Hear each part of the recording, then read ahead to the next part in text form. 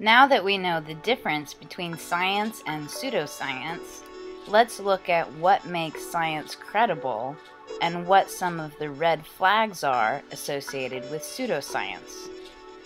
For example, science is quantifiable, meaning that you can measure the effects and the forces in your experiment, whereas pseudoscience is unquantifiable. Science explains phenomena as resulting from natural forces, whereas pseudoscience explains it as resulting from supernatural or paranormal forces. This is partially why it is unquantifiable. Science follows the scientific method, where you begin with a hypothesis and end with a conclusion, whereas pseudoscience begins with a conclusion then cherry picks evidences to support it. This confirmation bias is when you dismiss any evidence that does not support your conclusion.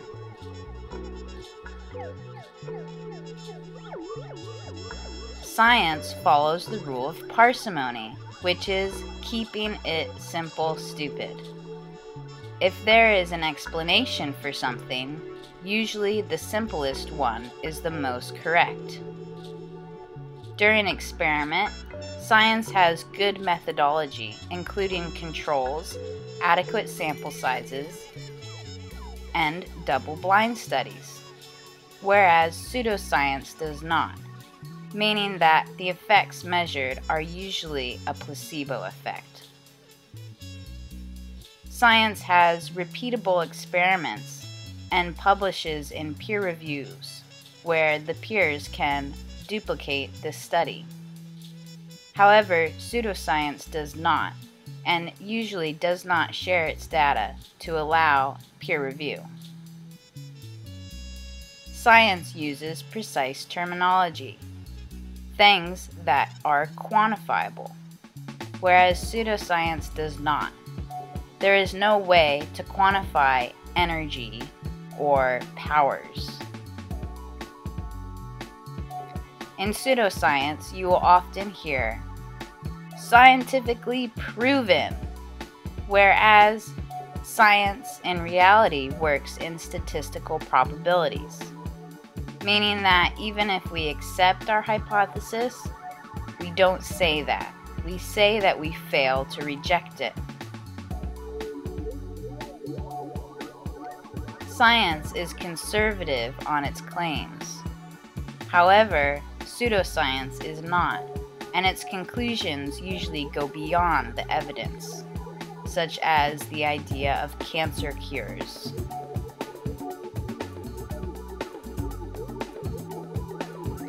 Science uses the empiricist view, whereas pseudoscience uses the rationalist view. In the rationalist view, if you reason something, then it must be true. But in the empiricist view, you must have empirical evidence for something to be considered true. Logical fallacies are other red flags to watch out for.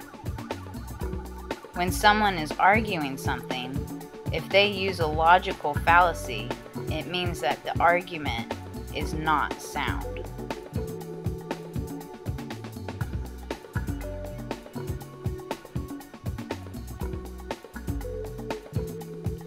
An appeal to authority means that you use celebrities or fancy terminology to give your idea substance. Argumentum ad hominem is basically name calling your opponent or otherwise degrading the person. Appeal to tradition is the idea that if something is ancient, it must be correct. Appeal to nature is thinking that something that's natural or organic or pesticide free is better. Appeal to emotion is something found on PETA and other advertisements. And remember that correlation does not equal causation. Just because you see a pattern or that something happened right before the phenomenon occurred does not mean that is what caused it.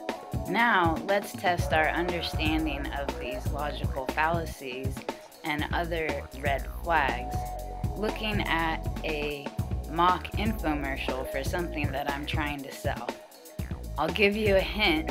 First off, I'm trying to sell you something.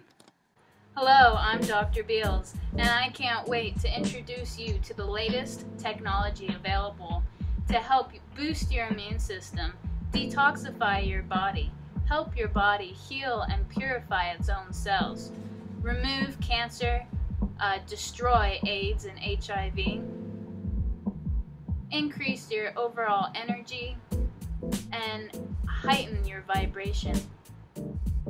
Science has proven this new technology to be 100% effective. This biotechnology is 100% natural, organic, chemical free, additive free, preservative free, and substance free. In fact, I'm wearing it right now, and you can't even tell. But you can tell because I'm the most beautiful and popular out of all of my friends. We don't need any controls in our study because we can see how well this biotechnology works on its own. This biotechnology could be the next link to flying to Mars, and it can increase your memory up to 350%. Don't let Big Pharma take your money. We don't stoop that low to send our studies into journals and get them peer reviewed because Big Pharma is out there to squish us down. We've been collecting this ancient wisdom and anecdotal testimonials to satisfy you. In conclusion, next time you see something that is just too good to be true, when in doubt, check it out. Use your critical thinking skills. Research more about the topic, and watch out for red flags such as these ones. They're usually trying to cover something up or make money.